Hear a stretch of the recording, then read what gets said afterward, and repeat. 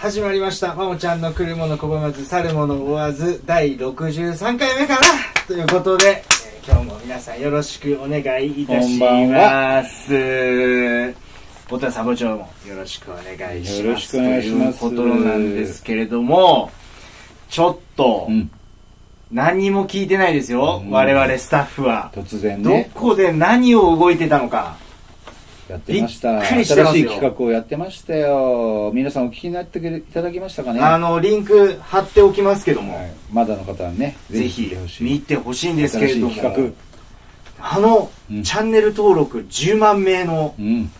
えーもう今地域リーグ界のサッカー選手の中でももう一番人気と言ってもいいんじゃないかなそうですね。あのジャイアント和樹さんことこ若田和樹選手横浜武所属の若田和樹選手とう、グレートゴールキーパはいそれと我々、えーチャンネル登録1500ー。まだ1500人台。うん30人くらいのてるかな、今日。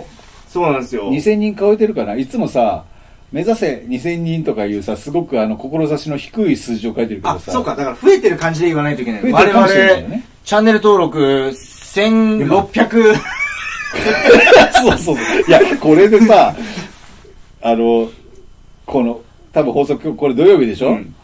土曜日時点で1600台だったらちょっと俺たちかっこ悪いな、みたいなね。まあいいけどな。謙虚にね、まあいつだ、いうんつだって俺たちはもういいんだよ、それで。うん。ただ、そうそうそう、その、新しく、今日、もう昨日の新、若田和樹、レギュラー企画を聞いて、この車の駒松を初めて聞いていただいてるね、高校サッカー、大学サッカーの頑張ってるあそうかそういう子もねいるかもでしれないんだねって初めて知ったのもう初めての方もいらっしゃると思うんでこの番組の説明をちょっとする前にちょっとですよそれよりもねやっぱはいはいはいはいはい。ちょっと若田和樹さんとのコラボ企画がそうなんですよ。や、やりました。始まりました。これは何？一発一発じゃないから。あもう、あの、レギュラー。レギュラ基本、基本頑張って毎週1本ぐらいずつは出したい。ーわおうん。若田和樹さん自らが、いろんなことを喋りたいって。いやまずね私からの若田和樹さん提案に賛同してくれてあのーいつもありがとうございます。僕のね、こんなね、クソ番組に対してもね、リプを送ってくださったりとかね、もうしていただいて、またあの、僕のあの、応援しているね、えプロスケーター、えー、浅見琴葉のね、なんだっけ、こ と琴葉琴葉がテレビに出るっていうだけでも、あの、ね。告知していただけるという、若田さんね。優しいことを今までもしてい関ただいて。フィギュアスケートの番組の宣伝も若田さんしてくれたことあったよね。ありまして。だから、馬モとか俺にとってもととてもあの縁縁の深いね、現役サッカー選手だよね。そそれが、なんとあの、10万人のチャンネル登録者数がいるね、もうジャイアント和樹さんのチャンネルはもうそれはもうみんな見てますよ。うん。ビターチャンネルは全然まだ少ないけどさこのビターチャンネルのコンテンツの方で若田さんが自由にしゃべるっていうのが始まったんだけ我々としてはもうさありがたいありがたいってもいいよ、本当に。う、もうあの、横浜方面にみんな足向けて寝れませんねい僕らは。寝れないね。やっぱ、あの、あれだよ。この、ビターチャンネルスタッフもね、みんなね、ベイスターズ応援しよ そうか。それはおめえがベイスターズ応援するから。横浜に横ね、浜武をまず応援横してついでにな。ついでになね。ついでに館内のな。いや、一番ベイスターズって言っちゃいけないね。そうだね。横浜タケルを応援しよう。うん。横浜武推し、はいいやいやいや、お世話になってますから。しかし、まあ、あの、びっくりですよ、まず番組の内容。ね、タイトル決めてから喋ろうよ。そうだよな なんで決までもそれってないのにがらしくていいよねっていうのが二人の会話で。確かにうんあのー、なんだろう、このビターチャンネルらしさと、まあ、逆だ、ジャイアント和樹さんらしさと、出てるよ。ビターチャンネルらしさがうんあるね。まあ、なんとかなるっしょっていう。そうそうそう。だってさ、そんな1回目2回目からさ、うん肩肩に力入れすぎちゃってさ、うん。なんか、ちゃんとしたサッカー、あのー、後派番組をやろうなんて言ったってさ、ん。どうせ滑るだろうっていうのが、2人の一致した意見で、まあ、サ部長、最初は手探りで、みたいなさ、でもそれぐらいがちょうどいい。打ち合わ。せがあってね。で、だんだん回を重ねれば、うん。形がだんだん決まってくる、うん。そうしたらもうもっといろいろ画像を凝ったりできるけど最初はまあ緩く手探りお互いあのお互い手四つ、うん。こうね。うんうんうん。ほら。あの新日本プロレスもそうだろ。最初からあの岡田和親ドロップキックかまさないじゃん、うんうんそうね。最初こう手を合わせて。まあ最初手探りでちょっだとこうどう攻めていくかって一回組んで離れてパチパチパチみたいな瞬間プロレスありますからね。でこう胸だけドーンってついてみてさ、でタックル仕掛けてわざとこうロープの下にピュッて逃げてみたりとかよくあるじゃん。いろいろありますね。まあいいみたいな。それをねそれジャイアント和樹さんと私の中であ手探りでいやいや。ただ1回目からすげえ面白かった。すごいね。あのさち俺多分多分だけどこれ間違ってたら申し訳ないけどあのジャイアント和樹さんのチャンネルで俺酒井トリニタスって言葉出てきたことないと思うんだけど。多分な。うん。すごいね。うん。うん。あのー、こんなに社会人サッカーリーグのことを喋ってることはないんじゃないややっぱりそれがやっぱりビターに出たっていうその自由に喋れるよねっていうあるじゃん、うん。うん、だってビタって自由だからみたいなさ。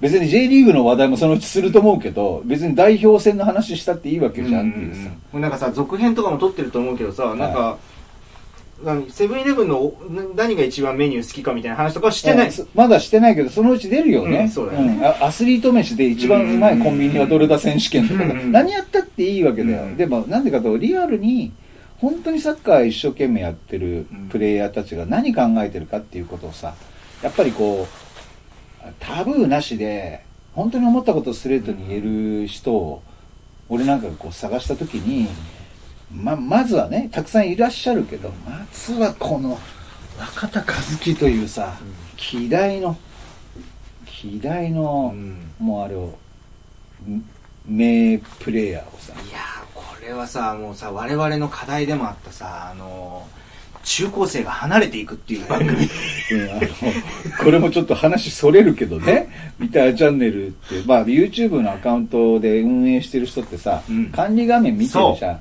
そう。さ、視聴者年齢とかが出るんだよね。うん。な大体45歳から4 55とか35から45とかっていうこう10年単位でこうさグラフが出るじゃん。そう視聴者層みたいなね大体45から55のところがさドワーってあのタコメーターがビュッて出てさ10代のところがもうほほぼゼロ。に近いじゃん、うん。それが変わる変化してる。そう。若田さんのやっぱり若田さんはスーパーあのリアルヒーローだから今の高校生大学生がさなんかさその見てるじゃん。サッカーそのなんて言えばいいんだろうなんて言えばいいんだろうなその世間の世間とかその周りの人の目線での言い方するよ。あの J リーグ以外のなんて言えばみんな知らないようなサッカーを追っかけてるうんオタクどもの番組だろって多分そうなんだよ。思ってると思うんだよ。そうなんだよ。あの中高生の皆さんは。そうなんだよ。うん。うん。よく見てみて。うん。あの手探りでやってるから そうだね。うん。ただ、その手探りがもう 4, 4年も続いてるんでそう4年も続いて、る。あの、で、でもね、よーく見てるとね、結構、え、こんなすごい人出てるのってのもあるのよ。そうです。あのね再生リストとかをよく見るそう、だから探しにくいかもしれないから、うん。ぜひこのビターの、あの、ビターチャンネルのうん。トップページに来たら、左のバナーにある再生リストをよく見てほしいから。それこそ、えっと、スターになる前の、うんえっと、若田和樹さんのそう、貴イ重なンタビューね。映像とか貴重ですよ。2019年の鹿児島で行われたね全社のね、あのうん時ベスト4まで行ったんだけどさ。名言残してますから。満を持してして合格っていうね。それね、あの、新シリーズでも言ってた。実は。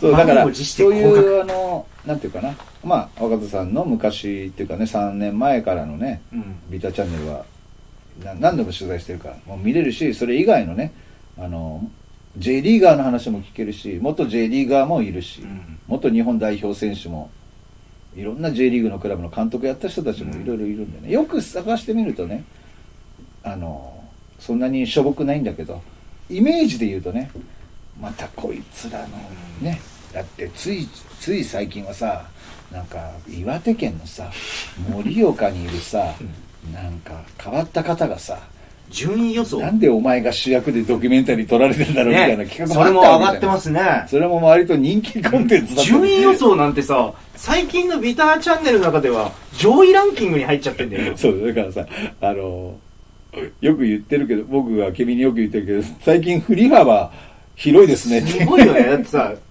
真面目に作った地域チャンピオンズリーグのゴールダイジェストをはるかに超えてるってさ。そうでしょ、うん。面白いよね。みんなそっち見たいんだだからまあえとにかくあの今まで4年間もそうだけどこれからもさ5年目もう来年だったら5年目だから、うん。もうこれからもうエンジン全開みたいなさ、ね。うん。でそれのまあ一つのきっかけっていうかねそのエンジン全開ののろしの一個が若田和樹さんですよついに出てきていただいちゃってさ。どんどんこれからいろんなことやりたいなと俺は思ってますよってこと。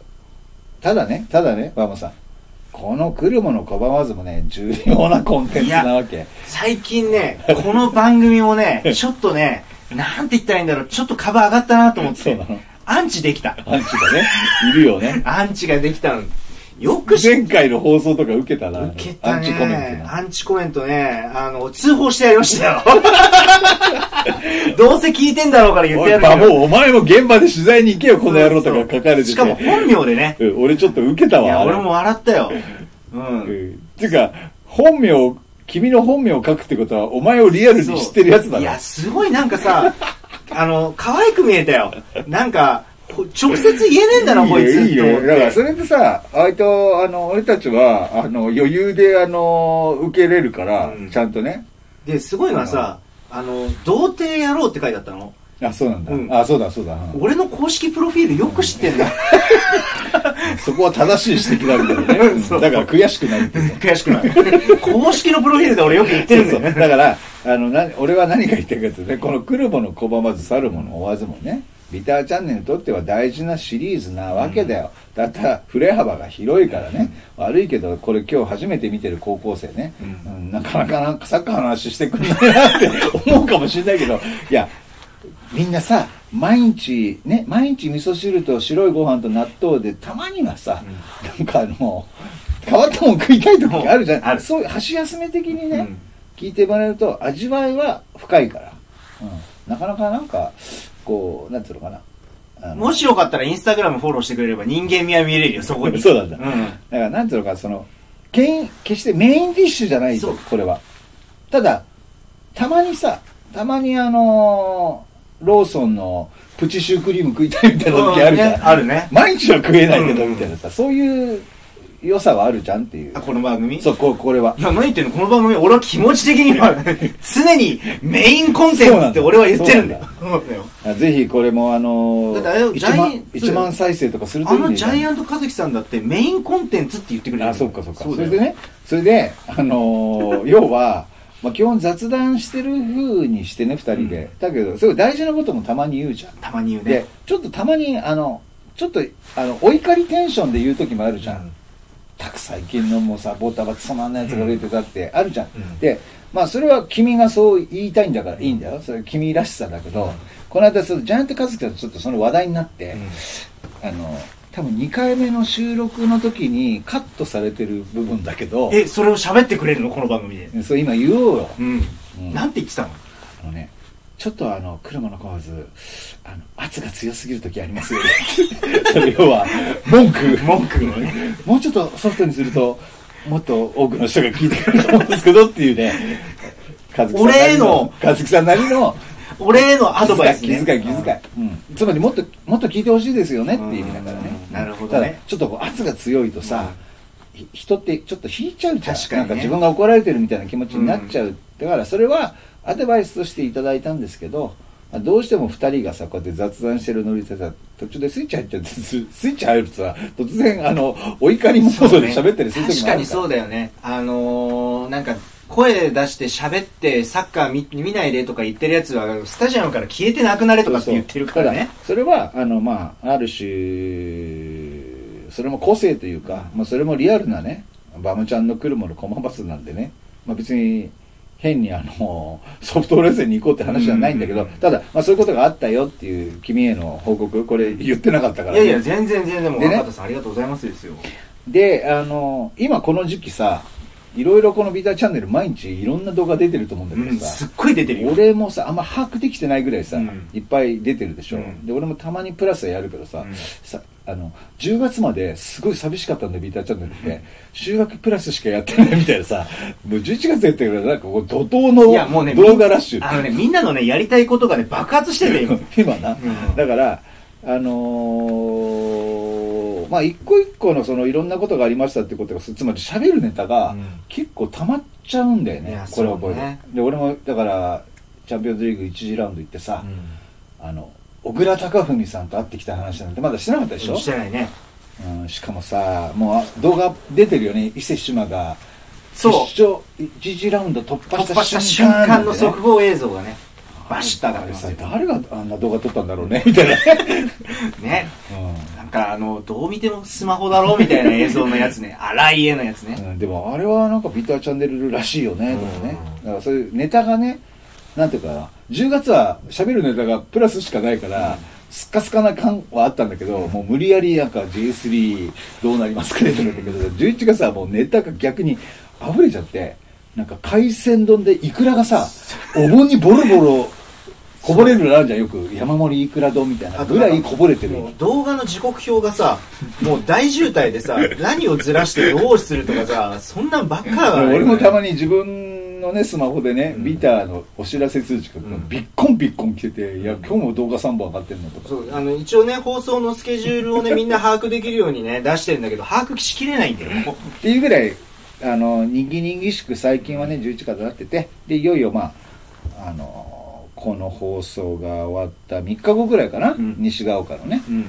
チャンピオンズリーグ1次ラウンドも始まるよねみたいな時期なんで、まあ、別にまた来週話してもいいんですけど、まあ、最近そんなことがねそれの間にその西が丘のラウンドをやってる間に各地のラウンドでの、えーインタビューとかまあ、出てるだろうねそれぞれに取り上げたいものを取っているやつがあるので、えーっとですね、地域チャンピオンズリーグ2021というね、再生リストの方、こちらの方作ってありますので、あの、リンク下に貼ってあるので、うん。ちょっとまだ追い切れてない方はね、うん。ぜひそちらの方を、えー見ていただいいたて、だいて、あのーね、ちょっと楽しんでいただければとい。うふうに思ってるんですけど、西岡は有観客？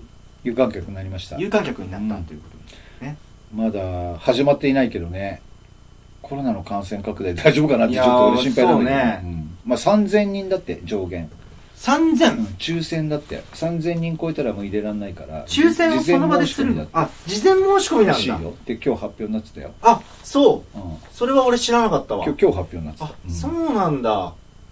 まあまあどうなることやらって感じ取材陣もち抽選なのかな？いや俺たちはもう事前にあの取材してるから。そうだね。ビシッと出してきましたよ、うん。広島と三重で体温書いた？がさ、うんも出した？うもうそのネタもいもう話したいこといっぱいあるんだけどさもういいや。もういい。はしゃるいや、いっぱいあるの。もうこう、だからイクラがさ、うん。丼からこぼれちゃってるからさ、ねこの2週間で。いっぱいあるんだよ。だって若田さんとの収録話だって、お君に話してあげたい話、もうまだこぼれてるからね、今ね。それちょっと次回するかそうだからね、いっぱいあるのよ。うだけど、まあ、とりあえずこの今冒頭20分弱話したけど、とりあえず本題は何だい？君、君のコンテンツだから、君のなんかこの1週間、10日で、君は別にどこにも行かなかったわけだかそうら、こんそうなんか最近のサッカー界の出来事で今日ネタはあるんでしょ？なんか準備したんでしょ？サッカー界での、ちょね、それを言って今週は終わろうよ。いやあのね、はい。オマーンに勝ったね。ああ代表ね。代表が。森保さんみたいないねやーあのねなんかねやっぱりねちょっと僕見ちゃいました。見たの試合、うん。深夜だろあれうん1時見ちゃいました。ああ。のねちょっと危機があってさ。ー危機？危機なんか何自分の中で、危機感、うん、なんかこれ見といた方がいいんじゃね森保クライイシスみたいなこと、うん、なんかあのそんなに期待はしてなかったけど、いやちょちょっと話戻るけどさ代表戦ってさ最終予選じゃん、うん。でそのオマーン戦、うん。確か17日の夜中だろ？水曜日。あれが第4戦？3戦？第4戦かな？4戦？それでえっ、とオマーンがいてえっ、とあとサウジがいるんだっけ？あとオーストラリアがいてオーストラリアとサウジ中国がいてベトナム。中国とベトナム？だから全部で6チームによるだから10試合やるじゃん。で2敗したの？最1敗したんだっけ？なんかえっとねオマーンに、俺さアジア最終予選が始まって、うんあのずっとダゾーンでやってるっぽいけどさ、うん。ある時地上波で1回やった時あったでしょ？えっとねあれなんか9月2日の、TBS か分かホーム、だよねうん。それ見てた時になんか大丈夫かな？大丈夫かな？森保のチームって思った印象があってその時の順位もかなりさもう3位とかもうすでに1敗とか1分けとかしててさ。もうね6試合やってんだけど。あ6試合やってんだ。そう4勝0分け2敗なんだよ。あそうそう。だからもう負けてたじゃんそう。まず立て続け9月にホームで負けてんだよ。でねあの時にあのその9月の時にえちょっとあれだねってあのいやアジア最終予選ってこの4年に一度ずっとやってるけど、うん。最近はさまあそうは言っても2位以上でしょみたいな雰囲気あったけどさ、久しぶりにあれ？もしかしてこれあのプレーオフ回りますみたいなほらよくオセアニアとやりますとかさ、北中米カルビの3位とやりますみたいな、あれ久々にあのジョホーバルっぽい雰囲気出てきたのって思ってたの？うん。でこの間のオマーン。うん。で一応勝ったんでしょ？勝った。だけど空気感は相変わらずクライシスは続いてたんでしょ、うん。このただどうぞどうぞどうぞそこからどうぞはい見て。ただねオーストラリア対中国がオーストラリアがやらかして引き分けてくれたから、おおじゃあ詰まったんだその詰まったんでしたら2位になったんだよ今。でねはい。昨日さまあ一人で見るのもあれだからはい。最近流行りのね最強アプリクラブハウスでね。ああはいはい音声コンテンツサッカー見たことない人もそうだし、まあ、見てる人とも雑談しながら見てたんですよ。なるほど。ううん。んながらみだ。ながら見してて。でさはいあのサッカー知らない人はこのそのクラブハウスの話してるところに入ってくるとさうん。あ今日何やってん？サッカーあ今日今日本代表戦やってるんですねみたいな人がもうほとんどなんだけど。いいねいいね。うん。うん。そう。あそうなんですね。リアルな世の中はそうだよね。うん。うん。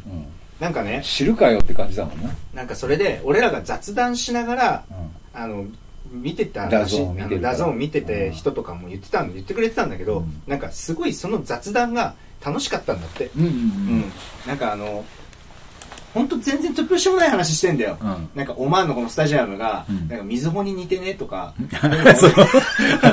ああ分かった。でも真ん中ほら聖火台みたいなのあるよ。これなんかあのゴールラサポーターがまずチェックするこの形状はとかそう。ねでこれ国体スタイルで真ん中 そうだよね。聖火台があるからこれ山形じゃね？とか言い出して。でも山形下まで。バックとゴールラのあの間のとこブリッジの橋あるねとかそう。いうやつだ。座席なくね？とああわかるわかる。でも挙句の果てには俺海外までこあのなんか飛行機代払ってこんなスタジアムまで行きたくねえなとか言い出すっていう人も雑談をクラブハウスでしててしてて。それを普段サッカー見たことないような人がその雑談を聞いてて面白いって言って10代くれたんだ。20代の女の子もいてさ。へー。面白かったんだって。へー。なんかこれもしかしたら新しいヒントになるんじゃないかなまあって、ね。てか世の中の人が普通の人が、うん。サッカーのどの部分が最初の入り口で面白いと思うかをこう知るいい機会だよね、うん。その実験的にはね。しかも2人は映像を見ないで楽しんでたの。そうでしょ？だからさ、深夜ラジオ聞いてるみたいなもんじゃん。そうそうそうそう。でなんか想像だけで面白いって言って。う んしかもさあんまりさピッチのさ選手とボールの動き言わねえんだろ？言わない。全然。いや三笘が入って変わったねとかさそんなことあと三笘の前髪いつも気になるんだよねとか。なんでか目に邪魔じゃないとか言ったりとか。いやそういういわゆるサブカルゾーンだよね、うん。サッカーの中のサブカルを話した時にそれもこう聞いてるあの初心者女子が楽しかったっていうのはそれはさ、つまんねえなって言われるよりは全然いいよね。そう。うん。まあかといってその女の子がサッカー場にスタジアムに試合見るかどうかはまた別の話だけど、行こうとは多分思わないなまあそこまでは思わないと思うけど。だからそれでそれぐらいでいいんだよ最初は、ずっと。なんかこれはねもしかしたらなんて言ったらいいんだろう。この我々の関東リーグのとかで今後中継生配信やる際の何かいいヒントになるんじゃねえかなって。ああそうだね。そう一つのねヒント的には俺もそう思うし、うん。もう10年以上前からそう思い続けてんだけど、なかなか実践できない理由があるのよ。これなんでできないんだろうね。あのね結局サッカーやってる人たちがねそういうの嫌うの。だって俺嫌われたもん。実際やったから。それあれか。あったねそんなことあのーちょっと個別具体的なね、うん。リーグ名とねチーム名やね、うん。協会名言わないけどあえて、うん。またほら若田さんに言われちゃうから、うん。ちょっと圧が強いですよって言われちゃうからソフトに行くけど、うん。どこのポンコツリーグ？さいやそらあかん試合ってあるじゃん、うん。ちょっと見ててもさもうなんか別にまあ勝ってほしいとかわかるけど、そんなに肩に力込めてなんかがなったってさしょうがないじゃんそもそもこのこの A っていうチーム対 B っていうのチームなんだし緊張感ねえしみたいなさもう監督も多分ダメだろうなと思ってやってんだからみたいな時にさなんか無理やり盛り上げようみたいなさサッカーの話つまりいいクロスですねとかさ今の動きがとかって3バックがどうのとかっていうよりはさいや昨日この選手が泊まったホテルすごく良かったですよねみたいなさ金ありますねあのクラブとかいう話の方が。俺はさそのさっき言ったクラブハウスの女子みたいな子は、あ、なんか喋る面白かったなってなるのと思ってやったらさ、違ったの真逆だよ、評価が。某東京のお茶の水の中の人たちの評価はさ、うん、なんて喋りしてんだって言われてさ、うん、はって俺も思って、その時は、さすがに切れたよね。いやいや、面白いですよと。面白いって言ってる人なんか多かったでしょってって。まあ確かに多かったけどな、みたいな。ただ、その中でも文句言うやつが一人か二人いたんだって。うん、なんだあの、あんなふざけたことをあいつ、あいつにやらせていいのかみたいになってさ。それで俺実質縁切ったよ、うん、バカバカしくてやってらんねえなと思って。やっぱ。いやこれサッカーやってる側の人がクレーム言うんだよね。こういうしゃべり。そのサッカーやってる人ってそのサッカーをその面白おかしく伝えることは何が不満なの？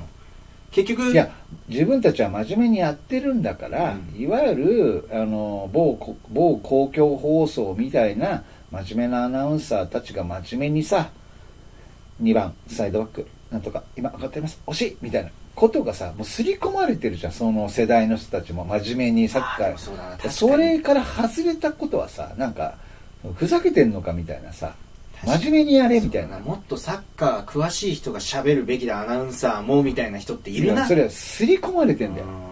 もうテンプレなんだよぶっちゃけ俺から言わせると。だから真面目にやれって言われちゃったんだけど悪いけど俺は100倍返しで言えるけど、真面目に面白くやってんだよ、つって。あの、不真面目にこんなくだらないこと言うわけねえだろって、俺は真剣に、初めて今日見てるね、こんな地味なね、A 対 B っていうチームのね、このなんか、どこに魅力があるかはよく伝わりづらいようなリーグの中継で喋らなきゃいけないんだから、そりゃ雑学言うしかねえだろみたいなね。この選手どこどこ出身でね、そあのそうかそうか。南米の国から来たから日本にいる時はこんなもん食べてんですかね？って言ってあげた方が、そのクラブハウス的に聞きに来た女の子ってあそうなんだみたいなさあるじゃん。あるある。ほとんど雑学じゃん、うん、あるある話してるみたいなもんだしみたいな。と思ったらあのよりよりピッチに近いっていうかリーグ運営とかそういうチーム運営的に近い人の方はそういうあの余計な話からあのっていうふうになっちゃったことがあったの。でも俺はいまだに、えー、俺の、うん、方針信念は絶対その馬場がクラブハウスでやってた方をもっともっと出さないとダメだなと俺は思ってる。いやだから今でもそれは。で試合もさそまああの失礼だけどおまんだろ？結構イライラしたんだよ。そうオマン戦なんてさ俺見てねえんだけどさ、うん、翌日の朝のさなんかいろんないろんな書き込みスレッドあるじゃないですか、クソみそ書かれてて森保はじめのことがますねでなんと内田篤人とかラモス・ルイとかもうそれぞれあもうこの人知ってるこの人知ってるみたいなね。あの俺じゃなくてもう世の中的にはみんな知ってるよねっていういわゆる OB だね、うん、OB がさ総叩きみたいな、うん、こんなにクソみそに日本代表のこと叩かれるの？えっ、ー、とえっ、ー、とウズベキスタンの鴨監督更迭から岡田さんに言った以来ぐらいひどいねみたいなね。あと、ジーコの時もちょっとこれぐらいひどいのあったけど、それをね、数倍上回る、なんでこんなに OB たちが、もうあの、スタメンが変わってねとかどうのこうのとかさ。で、あ、なんか、振り、急に針がビヨンって反対側に触れるんだなっていうのを見て、うん、あ俺は見てないけど、まあ、まあ、俺はぐっすりその夜中寝てたからまあ見なくてもよかったのかなって思ったけど相当退屈だったんだろうだから、うん、知らないのすごい退屈だったけどでもみんなでそこで喋ってたのはなんかでも一人で見てるとイライラしてただろうけど楽しかったね そう気が紛れてね。そう気が紛れて。だからそれぐらいさあんまりサッカーのゲームってさ全ての試合年間にまあ100か50かいくつか見れた人が全部面白いわけねえじゃんっていうことが分かってる、うんあのじゅあの常連客は気抜いて今日はちょっと雑談しながらいいんだけどだってさリアルガチに全試合にさあのスペクタクルと勝利を求めちゃう人っているよね、うん。でそういう人間のリアクションがすごかったんだよ、なんかいろんなスレッドの書き込み見てていやこんなにみんなヒステリックに代表戦見てんだとそう思って。だからさああいういやかわいそうと思っちゃった。ああいうの見てストレス溜まったりとかヒステリックになっちゃう人がなんかそのゴール裏にいる人とかのことを魅力ねえ試合見てるから暇つぶしに声出して応援してるんだろうって思う気持ちも分かった、ああなるほどね、うん。そういうふうに思っちゃう気持ちも分かったなんか。うん。だけど今回それやってみて、何かいいヒントに俺はなったなって思ったんですよ、それが今日言いたかったことかな。オッケーオッケー。いや、うん。おせねちょっとやっぱり同じことを俺ちょうど感じてたんだよね。あの、おま、俺はオマーン戦を見る見見る見るっていうかもう あの寝たいから。うん。なんでか知ってる？もうね腰が痛い、うん。広島と三重から帰ってきてね。もうぐったりみたいな感じだったから全部バスって。でもうさ平日の昼間からやんなきゃいけないことあるからそんな夜中の2時間のライブ配信なんか見てらんねえわって言って、まあそれはまあ俺の個人的な好みだけど、うん。俺が何を感じたかっていうとねうん。まあそれは日本代表戦のアジア最終予選なんてそれはさ真剣にやってるに決まってんだけど、うん。でもやっぱり年によってはとか、まあ、監督や選ばれた選手によってはさやっぱいまいちさちょっとこう上がらない時もあるよ。うんなりますよ。でみんなさににやっぱ人間っていうかまあ日本人のサッカーファンがっていうくくりで言うけどやっぱこう物忘れも早いから、うん。いや別におまんせんみたいなゲーム過去嫌っていうこと見てんじゃんみんな、うんその時にさいちいちいちいちさなんかキリキリしてたらさ身が持たないし、なんでかっていうと君ら所詮見てるだけじゃんみたいな。さ、別にさ自分がワールドカップ出るわけじゃないんだしみたいなさ。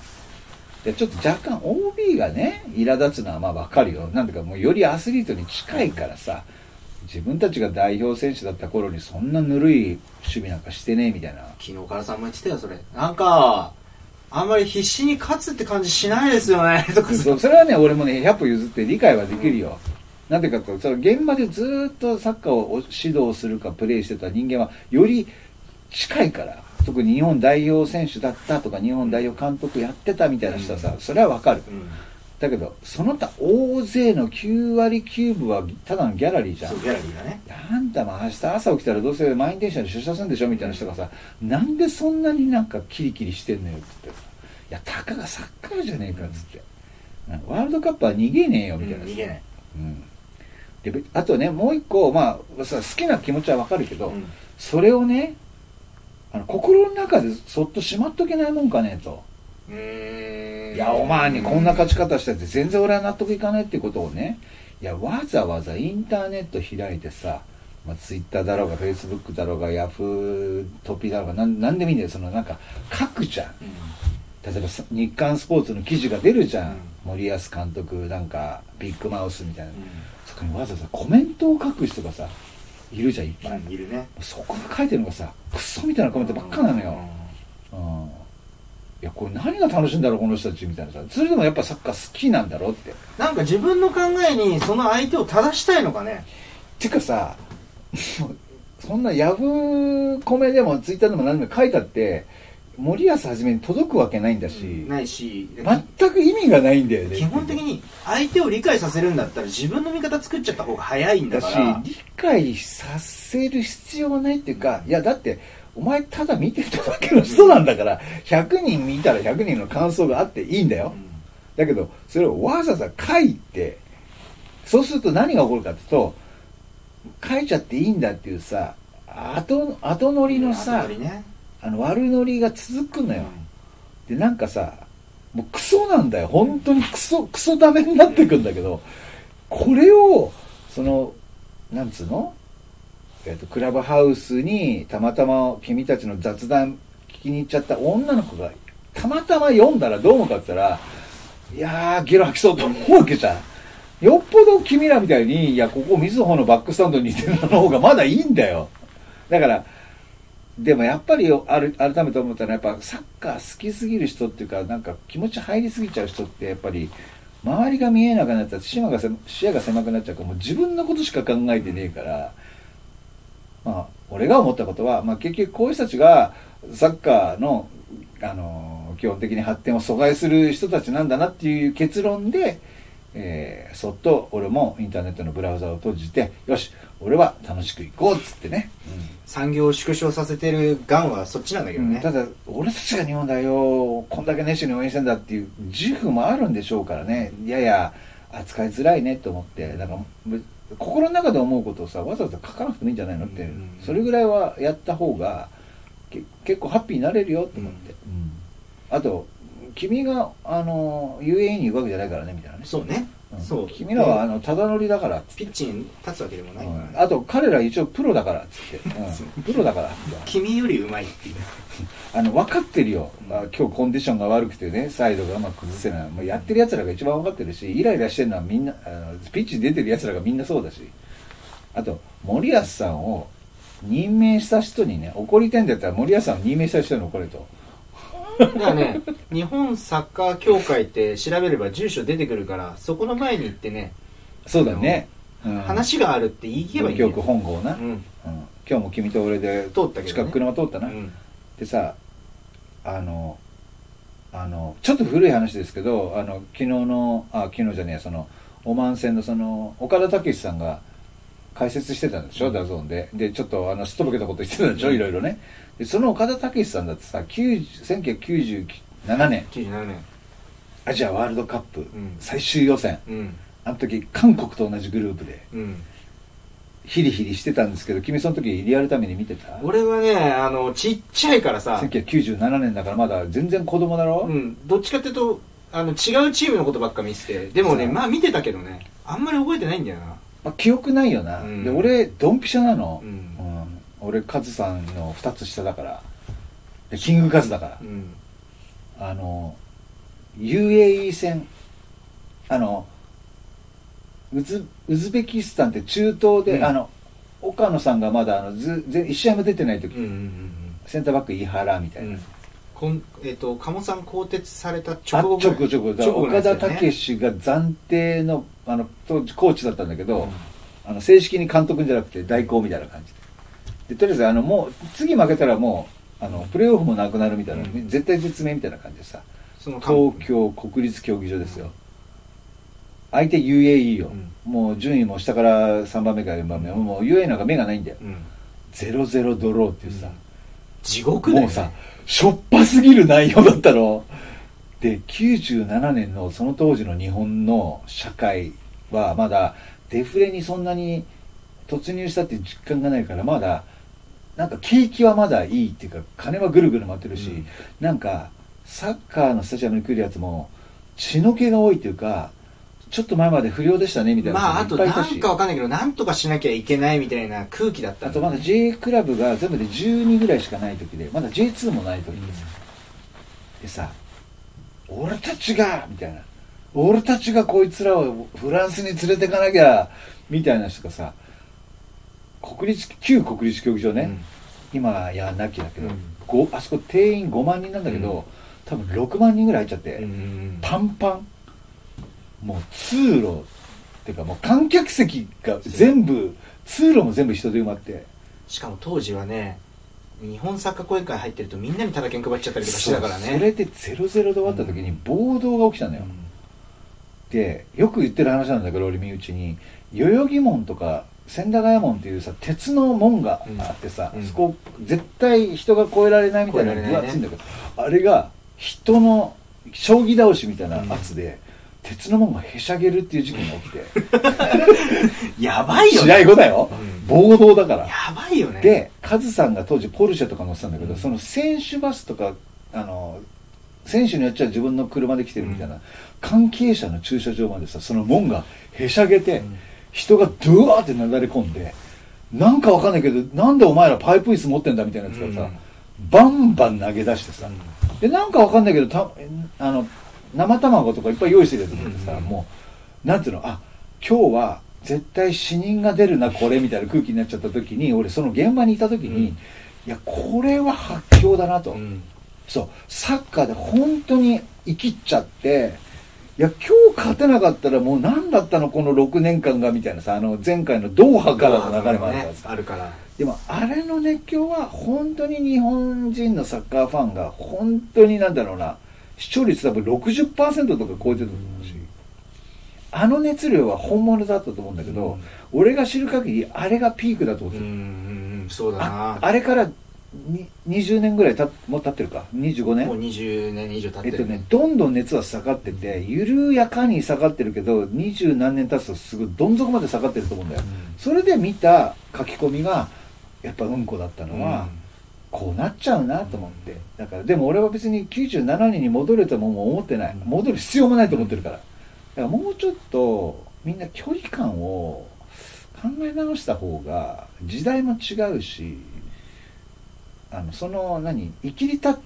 生きりた生きりたってネットに書いた意味ないっていうのは生きりたってね本郷のね教会にねデモをやるんだったらわかる。うん。実際2000年とか2002年あったから。なんかちょっとあったね。川淵三郎会長のやめろみたいなやつね。やっぱね暑苦しかった。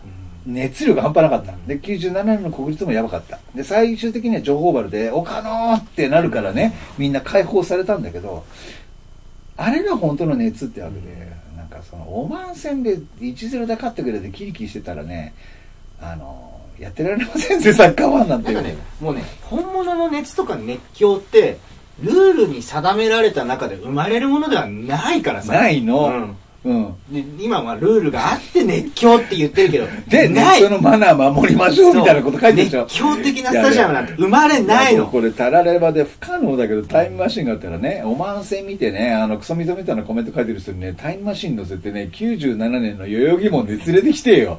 ここに立ってるところあんつって。2時間後とんないこと起きるからっつってねそもそもてめえらが勝手に首絞めてさ作ったさルールでさあの吐き出し場所がなくなってそういうとこにおめえら書いてんじゃねえかって話だしさ。いや俺もだから本当にあ今日は死人が出るなってサッカー場であ今日は死人が出るなって思うのを俺長い人生であの日一日だけだもんねいまだに。うん。かあの数がさまだ全盛期だよ。バリバリでしょ？マジ切れしてサポーターの中に突撃してくる数なんて。出てこいっつって。おい人で今パブ玉がなんだ誰だこの野郎とか言ってさ。一人で突っ込んでおいそういうあの卑怯な話すんだったら今ここに出てこい俺と話そうぜとかってさ。それを一生懸命教会の職員が必死になって止めるとかさ。もう地獄絵図みたいなさ。もう俺今笑いながら喋れるけど。いやなんか時代がっつって片付けちゃう人いるんだけどこれ。そうじゃないんだよねいや本当に真剣に行動に出てたみんな、うん。やっぱ。うん。平気で会社辞めてたもんみんな。マレーシアかよし会社辞めようって。そう。でそれはね時代だったのそう。しかもあれもさジョホールバルの場所ってすげえ直前に決まったから航空券とか高かったっていうしね。そうだよ、うん。うん、かなり数万人が無職になってるからねあの瞬間。日日付変わって一時キックオフだったけどオマーン戦ってよく考えたらジョホールバルの日の次の日だったんだね。昨日が11月の16だから。そうだね。そうだよ。今喋ってて気づいたよたださもうこれ本当昔話だろう、うん。だって今の二十歳の子何言ってんすかだし。いまだに絶対に負けられない戦いっつってジョホールバルの映像出てくるチャンネルさんからねわざわざ今日来てくれたね若者にはね大変あのすいませんあの滑った話そししててまたあのあれだね。あのオブラートに包まない。ごめんチャンネル登録解除しないで この回でって思うぐらい。でもねでもいずれみんなもわかるよと。サッカー本当に楽しいし盛り上げた方がいいんだよ、うん。若田さんも言ってた。もっとサッカーを幅広く盛り上げたいんだって。若田さんが言ってんだからね、だけどねなんか狭いね。狭い人増えちゃったから、そこを俺はこの「来るもの拒まず」でも言いたいことだけどビターチャンネルで幅広くいろんなものを伝えてね。いやもうちょっとゆったり行こうよみんな。そのサブカルにもなりそうだからもうなってるけどなってるっちゃなってるんだけど。代表戦でさえだろ、うん、もうやばいやばいだろ。こ代表戦がサブカルって本当やべえんだよ。あのなんだろうその放映権が高騰したとかせいだとかってよく言うんだけどそれはあるけれども、うん放映権の高騰プラスそれに見合う視聴率とスポンサーが取れないからなんだよ。みんなだから知らないの。あのよく最近言ってんのかな俺が。クルサルでも言ったり、もしかしてプラスでも言ったけどみんなね歴史を学んでないからこういう公益金が高騰してるって言うじゃん、うん。ネット上で下り顔で、バカ野郎お前98年の時の放映権いくらばかしてるか、べらぼうに高し、うん。2002の時のフジテレビが代表戦を落とした時の金とか。ロシア戦とか大変だったやばかったか。らいや歴史に残る視聴率なんだから。高騰高騰してんじゃないの。日本は景気が悪くなってるの。あとテレビ局が儲かんなくなってるの、わざわざね DAZN に競りでねあの料金もう鼻から勝てないと思ってるから最初から入札どうせしてねえよ。であとそもそも見ねえし視聴者うるせえしってのもあるんだと思うんだよ、そうなの。だからもうあのーそういう客観的にいろんなものを分かった上でもうちょっと引いた目線で一回サッカー見た上で自分の面白いところはここだなっていうふうにもう一回一回引いた上でまた近づくっていうことをやんねえとね、なんかほんと狭いよっていう人がね、あの増えてで俺はリアルの世界では俺はそういう人と全く会わずに毎日過ごせてるから俺は毎日楽しいのね、サッカーってただひとたびネット開いた時にさいやオマン戦見てこの反応だったら悪いけど J ベルとか見てらんない この人たち。狭すぎて、味わい深いものがあるわけよ。でも関東2部の試合だってさいあるよ。あちゃーみたいな、いちいちキリキリしてなんないろその。いやもう正直に言うよ。あの生配信やってる時だってさ眠くなるなとかって思う時なんてはっきり言ってあるんだよ。だけどそんなことを言い出したらキリがないぐらいさ所詮たかがサッカーそんなもんだよっていうぐらいの気持ちでいてほしいなというのがまあ今夜 僕らがまあ一応オマーン戦にかけて喋りたかったことかな、そうね。僕はだからもっとなんか柔軟なさいろんな伝え方があっていいと思うんですよサッカーって。うん。うん真面目なところだけじゃなくてもさあの面白さって絶対にあるしそれこそ一生懸命やった中で生まれた面白いプレーだって一個の僕はなんかコンテンツでありサッカーの魅力だと思うんだよ。うん、いや結局ねオーディエンスにオーディエンスが何を求めるかがやっぱそこの産業とかカルチャーを決めていくと思うから、いや俺も別になんかああしろこうしろっていうつもりは全くなくてできればねっていうか俺自身はハッピーだからうん。いいんだけどできれば一緒にハッピーになりたいなと思う人はねぜひちょっとこう幅を広げてほしいから、あの食わず嫌いというわけじゃなくて、うん。なんかね幅には違うサッカーも見た方がいいよみたいな。幅広げるとね分かるんだよ。あの一個のチームを応援してることも別にそれは否定しないんだけれども、うん。なんかちょっと一個見に行くとね俺なんでこんな狭いところにいたんだろうなって本当に思う。から、違うものを見た時に改めてこう東大元暮らしっていうかさ、自分が日頃から見てるものの良さにも気づけるかもしれないし、むしろ自分がいいと思ってたもののなんかちょここちょっとおかしいかなっていうものに気づけるしでそれ自体が幅が広がるから長くサッカーに付き合うには絶対それぐらいの距離感がないとあまりにも狭いとね体も気持ちも持ちませんよと。うん。うん、で行ってあの月曜から金曜までまた仕事しなきゃいけないでしょみんなっつって、うん、だから、まあ、そこら辺はちょっとこう今後ねあの2020年2年以降もねいやー俺は求めていきたいかな、そういう人が本当増えてほしい。あ俺が今言ったようなね余裕のある気持ちでサッカーや社会と接してほしいなと思うんで。まあ久保の駒津もねなるべくあのあまりあの不特定多数のね、うん。